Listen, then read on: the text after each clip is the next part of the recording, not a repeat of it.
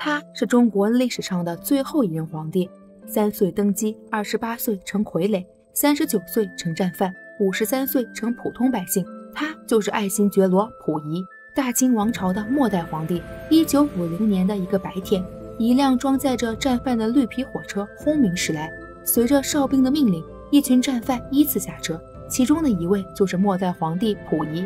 他张皇无措，木讷地跟着人群。战犯们被聚集到候车厅。溥仪望着正在绘制的共和国油画，沉默良久。这时，一个旧时的工人认出了溥仪，恭恭敬敬地上前跪拜，口中还念叨着“皇上”。溥仪神色紧张，没有回应。趁着无人注意，偷溜进锅炉房，他将一壶灼热的开水倒进洗手池里，随后用藏起来的刀片割破手腕，顿时鲜红的血液在热气中弥漫开来。溥仪隐约听见所长在门外叫喊，他抬起头望着镜中自己日渐垂老的双眼。恍惚中，记忆被拉回到多年前。一九零八年十一月，光绪帝去世，慈禧昭告群臣，将年仅三岁的溥仪养育在宫中，以备皇储。大臣们带着慈禧的懿旨来到醇亲王府，身为福晋的母亲只能服从命令，颤颤巍巍地将溥仪抱了出来，交给了乳母。年幼的溥仪哭出声，他还不知道这将是与母亲的诀别。溥仪被带到皇宫，金銮大殿金碧辉煌，森严可怖。慈禧高坐龙椅。周围太监女眷环绕，溥仪学着父亲的样子跪拜起来。慈禧命溥仪继承大统，刚说完便咽下了最后一口气。喇嘛们围着慈禧演奏起来。年幼的溥仪不明所以，他走到父亲面前，想跟父亲回家，可父亲却一言不发，伏拜在溥仪跟前。同年十二月，溥仪继位，大臣郑重地盖上玉玺，太和殿气氛凝重异常。小溥仪却在龙椅上玩耍起来，他不在乎，也不懂什么即位，什么天子。反而是门外的巨大黄色布幔吸引了他。小溥仪走出太和殿大门，铺上布幔，嬉笑起来。布幔却渐渐飞远，台下是数千大臣顶礼叩拜。小溥仪百般无聊地走在群臣中间。这时，一只虫子的叫声吸引了他。小溥仪循着声音走去，原来是大臣怀里的蛐蛐在叫。大臣将蛐蛐送给这位小皇帝。小溥仪好奇地望着蛐蛐，这是他唯一感兴趣的东西。从今往后，小溥仪便被养在深宫里。宫人们给他洗澡、唱戏、擦拭身子，还告诉小溥仪他是万岁爷，想要什么就有什么。只是有一样，他不能出宫。小溥仪在太监们身边嬉笑打闹，可在看到乳母那一刻，便急忙奔到乳母怀里哭了出来。他想回家，他想念母亲，而乳母能做的只有给他喂奶、为他唱歌。他回不了家。一晃七年过去了，小溥仪已经渐渐适应了皇宫的生活。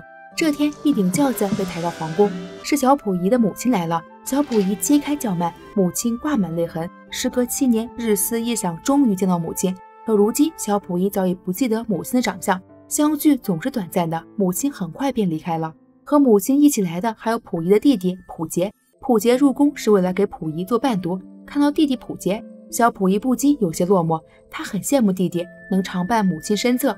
人人都告诉溥仪他是天子，能为所欲为。可他就连见母亲一面都是奢望。宫里的老太妃们都要溥仪叫他们皇额娘，可小溥仪不干。他知道自己的母亲是谁，虽然已经七岁，可小溥仪还没有断奶。每当思念母亲时，乳母的怀抱就是小溥仪唯一的慰藉。这之后，弟弟溥杰便开始为溥仪伴读。一次，小溥仪看到溥杰身穿黄色的衣服，便着急了，命令溥杰赶紧脱下来。只有皇帝才能穿黄色的。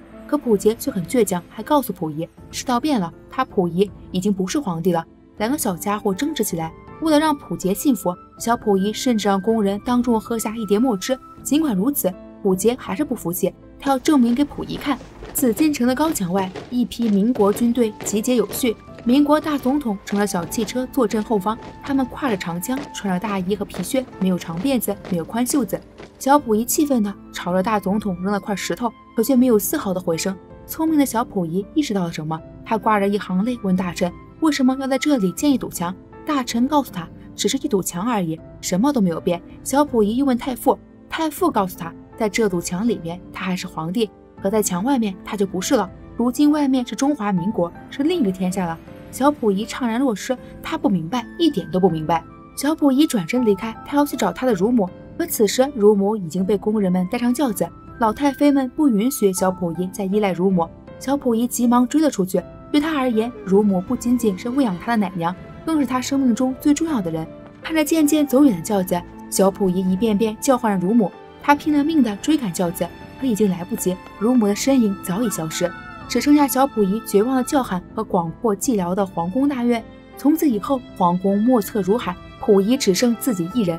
几年后，溥仪渐渐长大，时任民国大总统袁世凯威逼利诱，最终和溥仪达成协议，溥仪退位，但仍可居于紫禁城，并沿用皇帝封号。民国对皇室给予多项优待，史称“逊清小朝廷”。彼时的中国处于新旧交替时期，外国的思想文化逐渐涌入国内，溥仪也已经成长为一个十五岁的少年。此时的溥仪尤其喜欢西方的玩意儿，小汽车、快步舞、西洋棋都是他的心头好。大臣们也为溥仪找了一位来自英国老师庄士敦。初见庄士敦时，溥仪紧握着他的手，和他打招呼，样子开心极了。溥仪对国外的事物都很好奇，庄士敦教会溥仪天文地理、数学、英语。溥仪自此大开眼界。此时正值五四运动，皇宫外学生们群情激愤，抗议割让国土；皇宫内却依旧是一副奢华保守之貌。接受了新思想的溥仪渐渐排斥皇宫里的生活，他也很气愤，他也想抗议，可他出不去这皇宫半步。时值皇宫节日，太监们拉开布幔，站成两边，互相触碰对方的脸颊，嬉笑打闹。溥仪也悄悄混在里面，他游离在布帐左右，触摸翻滚中，感受了众人手掌的温度。和从未有过的自由，他寂寞太久了。很快，庄士敦为溥仪带来一辆自行车，并教会溥仪骑车。可就在溥仪学会骑车不久后，他的母亲便吞噬鸦片烟自杀去世。溥仪表情漠然地告诉大臣，他一点都不伤心。可当他转身骑车准备回家看望母亲时，眼泪便不自觉地滑落。自行车越骑越远，溥仪终于来到宫门前，眼看着门外就是他心心念念的新世界。溥仪越走越近，可守卫却喝令关门。溥仪命令打开宫门，守卫却只是跪拜不语。溥仪沮丧不已，他摸出怀里的小老鼠，狠狠地砸在了宫门上。那曾是他唯一的朋友。伤心的溥仪只能骑着自行车折返。回来后，溥仪爬到屋檐上，那是他唯一能看到外面世界的地方。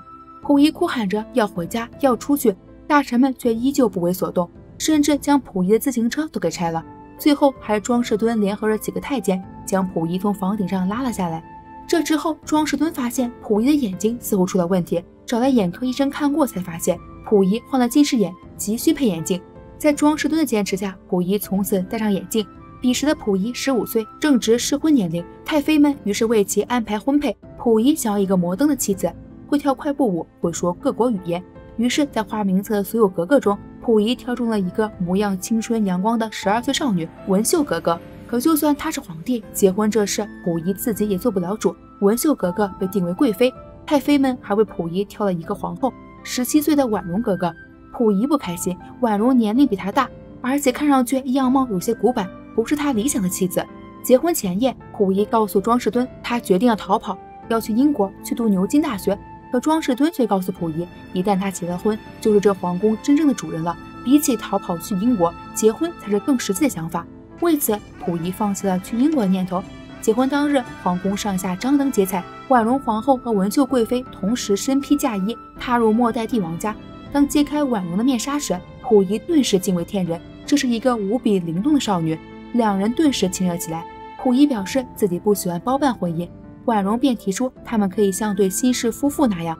于是，婉容和溥仪互道晚安。此时的溥仪看上去更像是一个情窦初开的少年。几年后，溥仪不再想要逃走，他下定决心要在皇宫内实行改革，他要破除一切传统的封建习惯。为此，溥仪以身作则，率先革去了自己的辫子，换上了西装和皮鞋。紧接着，他还要清点国库，整顿内务。可就在溥仪下定决心的这天夜里，太监们纵火烧掉库房，所有的账目明细全都付之一炬。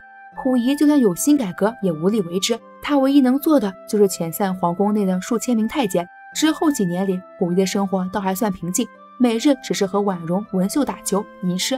孰料暴风雨即将来临。一九二四年，北洋军阀即将垮台，国民革命军忽然带兵进入紫禁城，无视对皇室的优待条件，逼迫溥仪离宫，史称北京政变。此时的溥仪刚刚年满十八岁，这一次他终于走出了这扇门，可却是被逼迫离开的。溥仪和婉容、文秀坐上小汽车，车资渐渐失远。身后的革命军纷纷狂呼，他们终于将满清皇室余孽赶出了皇宫。日本人不断向溥仪示好，于是，在醇亲王府，也就是自己的出生地住了没几天，溥仪便搬到了位于北京的日本公使馆。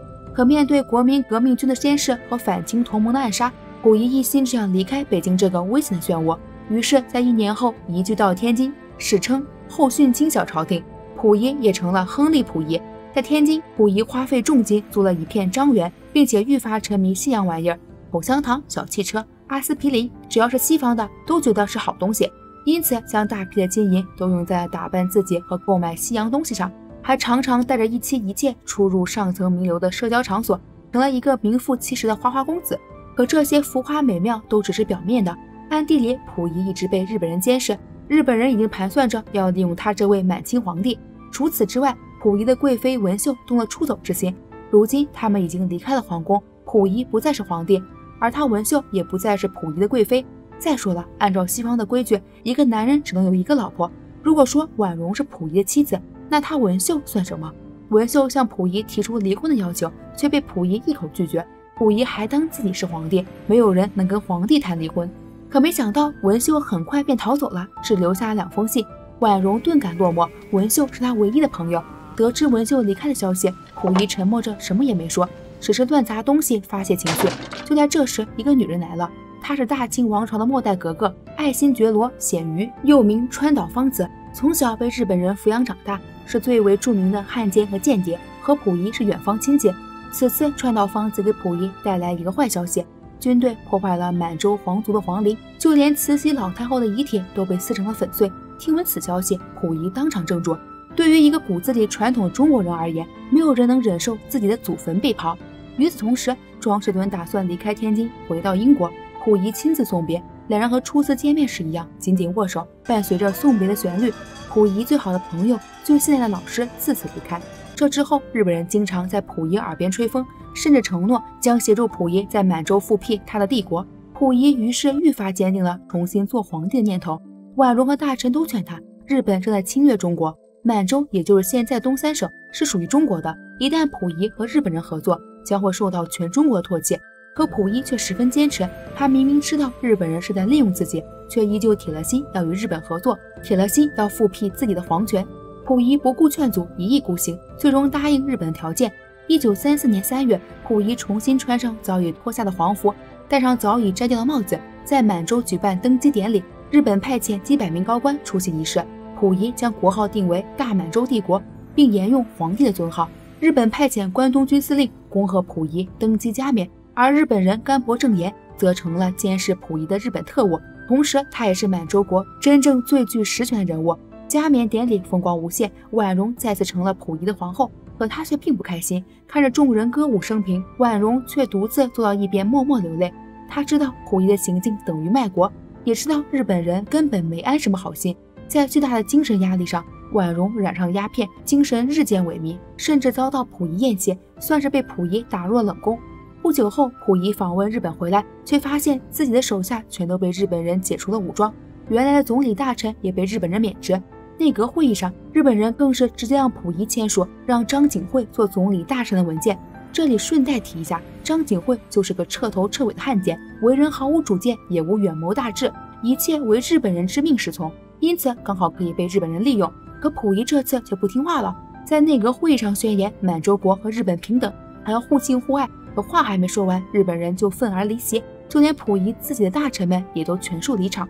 溥仪悲愤地望着空空如也的会场，此刻他才彻底明白，满洲国和日本是不可能建立平等关系的。就在这时，婉容告诉溥仪，她怀孕了，但孩子不是溥仪的。溥仪只是看了一眼婉容，没有说话，更没有斥责。日本人又来了，还是要求溥仪在张景惠的任命文件上签字。溥仪试图以婉容怀孕之事为筹码，只要她有了子嗣，满洲国便有了独立的理由。可日本人却毫不在乎，甘博更是一语道出孩子父亲的名字。原来他们一直都在暗中监视溥仪和婉容，溥仪唯一的筹码就这样断了，他只能被迫在日本人拟好的文件上签字。这之后，溥仪彻底沦为日本的傀儡，日本甚至要求让日语成为满洲的官方语言，溥仪只能签署。此刻的他已经渐渐麻木。不久后，婉容平安诞下一个婴儿，可孩子刚出生就被日本人悄悄注射杀死，婉容更是被日本人强行带离，他们不可能让溥仪有任何得到子嗣的机会。得知婉容要离开的消息，溥仪追了出去。他拼了命的追赶，可士兵却关上了门，就像曾经年幼时追赶乳母一样。那道朱红色的大门，他溥仪这辈子似乎都无法走出去。每一次除了悲戚转身，他还能做什么？好在日本侵略为国际社会所不容。一九四五年，美国向日本广岛投放原子弹。九天后，也就是一九四五年八月十五日，裕仁天皇宣布日本无条件投降。日本投降消息一出来，负责监视溥仪的甘博等人立刻引弹自杀，溥仪也随之颁布了退位诏书。此刻，溥仪的命运再次迎来转折点。眼下他该何去何从，又是一个问题。手下劝他去日本跟美国人投降，溥仪最终采纳了手下建议。临行前，一个疯癫老妇人出现在溥仪面前，竟然是离开了多年的婉容皇后。此时的婉容皇后再无端庄姿态，俨然成了一个痴傻的老妇人，双眼无神，步履踉跄，见到日本人就吐唾沫，甚至已经全然不认识昔日的丈夫溥仪了。看到皇后如今这般模样，溥仪有些难过，又有些不舍。毕竟是多年的结发夫妻，纵然有过疏远，心中依旧挂念。手下的呼唤一声声传来，再不走就来不及了。溥仪只能最后匆匆看了一眼婉容，随后便登上飞机。可一切已经太晚了。俄国的空中部队忽然出现，溥仪就这样被带走。五年后，也就是一九五零年，溥仪从苏俄的监狱被引渡回中国，关押在了抚顺战犯管理所。这是当年专门关押二战战犯的地方，最主要的就是日本战犯和伪满洲国的战犯。入狱期间，溥仪试图自杀，却被所长救了下来。从此，溥仪不再是皇帝，而是九八一号战犯。溥仪与弟弟溥杰被关押在同一间牢房。每日接受思想改造与劳动教育，可即便是在管理所里，溥仪仍然没有放下皇帝的架子，时常将弟弟溥杰当做佣人来使唤，就连刷牙和系鞋带都要弟弟帮自己。因此，所长特意将溥仪换到另一间牢房。这间新牢房里全都是伪满洲国战犯，原本是皇帝的溥仪，现在反倒成了小弟。经历管理所几年教育后，溥仪渐渐不再以皇帝自居，也终于放下了高贵的架子，每日老老实实的种花垦地。也许是出于同情，所长对他也是格外照顾。终于，一九五九年，溥仪获得特赦。此时的他已经五十三岁，被关押已有十年。听着自己的特赦令，溥仪颤抖地走到所长跟前。如今他已经年迈体衰，再也不是当年那个野心勃勃的皇帝了。接过所长手里的特赦令后，溥仪紧紧握住所长的手，就如同当年他紧握住庄士敦的手一样。唯一不同的是，他不再是皇帝。无论是大清王朝还是伪满洲国，也都已经不复存在。几个月后，溥仪被分配到了中科院植物研究所工作，成了一个园丁。这里明媚而阳光，从此不再有权力纷争和利益倾轧。褪去皇室的光芒，溥仪也只是个日渐老去的平凡老人。不久后，溥仪的弟弟溥杰也被释放出狱，兄弟俩经常聚在一起逛街买菜，日子平淡又舒心。电影的最后，溥仪来到紫禁城，买了一张门票，拖着年迈的步子走进了自己曾经的家。一切似乎都没有变，太和殿仍然如往日一般金碧辉煌，那张龙椅也还和昔日一样金光熠熠。只是距离他第一次来到这里，时光已经过去了六十年。溥仪越过警示线，步履蹒跚地走上台阶。这时，一个小男孩跑了过来。小男孩自称是管理员的儿子，不许溥仪到上面去。溥仪告诉小男孩自己是末代皇帝，小男孩却不信。于是，溥仪走上龙椅，从里面掏出了一个罐子，递给小男孩。小男孩好奇地打开罐子，里面居然爬出了一只蛐蛐。那是六十年前年仅三岁的溥仪初登宝殿时，大臣送给他的。蛐蛐从罐子里爬了出来。可等小男孩回过头时，溥仪已经消失在视线中。不久后，一群游客在导游的带领下来到太和殿，导游向游客们介绍着太和殿的历史以及他的最后一任主人。本片上映后获得奥斯卡九项提名，这在电影史上都是罕见的。皇帝一直都是个荣耀与危险并存的特殊职业，其中最光耀的莫过于初代皇帝，最危险的莫过于末代皇帝。溥仪这个末代皇帝又是特殊中的特殊。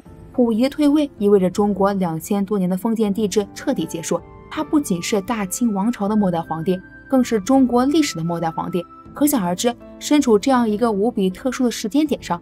溥仪的人生怎能不掀起波澜？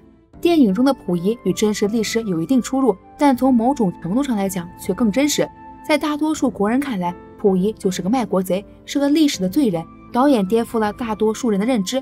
本片中的溥仪比起现实更为复杂，他胸怀抱负却无力施展，力图变革却以失败告终。身为帝王却从未真正掌握过国家政权，长期处于政治漩涡中却从未发挥关键作用。最终只是一个被时代戏耍的过客。溥仪的悲剧宿命似乎是早已注定的。早在溥仪出生之前，大清帝国已经遭到列强侵入，接连战败，领土被割。彼时的帝国已临黄昏，如大厦将斜，残破不堪。慈禧在临终前将这副烂摊子交到一个懵懂的质子手里，在溥仪还不谙世事时，便被强压在了金銮殿上。彼时的他唯一感兴趣的只有大臣怀里蛐蛐，在他原本应该快乐的童年，却没有一个玩伴，就连见母亲一面都是奢望。在他尚未明白皇权究竟为何物时，外面的世界已经翻天覆地，共和国诞生，大总统立位。他挣扎过，反抗过，甚至他也努力过，可最终全都溃败收场。溥仪不是没想过逃走。新婚之夜，他告诉婉容皇后，自己的床底下有只箱子，准备随时出逃英国。可惜最后被大臣阻挠。溥仪也不是没想过变革，他割去辫子，穿上西服，甚至想要检查国库，可却被太监们一把火烧个精光。从那一刻起，溥仪便已经意识到，无论他怎么努力。到头来只是在做无谓的困兽之斗。这座金碧辉煌的紫禁城，宛如一座金色牢笼，将会困住他一辈子。电影中出现了多次门的异象，无论是皇宫大院还是金门租界，溥仪永远也走不出这扇朱红色大门。远去的乳母，去世的母亲，离开的婉容，他们是溥仪生命中最重要的三个女人。每一个人他都尽全力去追，可最后却全都被拦在朱门之下。这一扇扇的宫门，仿佛镣铐。将他的一生都锁住了，使他沦为囚徒，无法自拔。他这一生都在拼命追赶，可哪怕身为九五之尊，也有追不上的东西；哪怕步子再快，也追不上时代的轮辙。电影的最后，年迈的溥仪从太和殿龙椅内取出蛐蛐，时隔六十年，蛐蛐仍未死去，可溥仪的人生却已经历波折，走到尽头。那些曾经失去童年，那段被禁锢在皇宫深院的旧时光，那些曾经放不下的家国情仇，也都随着蛐蛐被取出而放下和释然。最后说一下电影中的另外两个重要人物：婉容皇后和川岛芳子。真实历史中的婉容皇后，容貌端庄秀美，琴棋书画无一不精。作为一位内外兼修的末代皇后，婉容原本和溥仪琴瑟和鸣。可当溥仪逃天津后，一切都变了。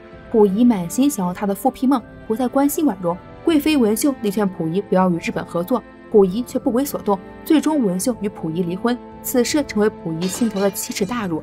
加上在日本人那里受到不公与屈辱，溥仪将所有的怨气都转嫁到了婉容身上，自此便将婉容打入冷宫。之后，婉容奢华无度，吸食鸦片成瘾，甚至和侍卫私通，珠胎暗结。婉容的孩子出生后，溥仪直接将孩子丢到锅炉房活活烧死。这件事让婉容深受打击，此后她更是整日吸食鸦片，精神逐渐崩溃。一九四六年，婉容在监狱过世，据说尸体被席子裹住，随意扔到一块臭水沟旁边。而当溥仪得知婉容的死讯后，竟然没有丝毫哀伤的反应。川岛芳子在本片中的出场次数并不多，但她的历史影响与溥仪有过之而无不及。川岛芳子原是大清王朝的末代格格，和溥仪同年出生，两人算是远房亲戚。清朝灭亡后，其父肃亲王为借日本之力复辟清廷，将女儿显瑜送给日本浪人川岛浪速做养女，从此显瑜更名为川岛芳子。相传川岛芳子极其美丽聪慧。可惜的是，她从小在日本接受极端的军国主义教育，成年后才返回中国，却已经不再视中国为祖国。为了复辟满清皇朝，甘心替日本人做间谍，残杀同胞。婉容皇后和川岛芳子一样，深刻时代印记。同为皇室，同为女人，一个受过西式教育，却被传统的皇后之名绑架了一生；一个背负满清家族遗命，却抛弃本来面目，认贼作父。最终在时代车轮的碾压下，同样都化作了悲剧收场。时代风起云涌，乱世飘零无奈。溥仪、婉容、川岛芳子在当时动荡不安的社会背景下，都只是政治的牺牲品，只是被历史控制的提线木偶，只剩无尽的唏嘘与悲叹。电影结束，好了，今天到这里了，欢迎点赞、留言、关注米虫，每天定时打卡米虫观影，一整天嘴角笑弯弯哦，拜拜。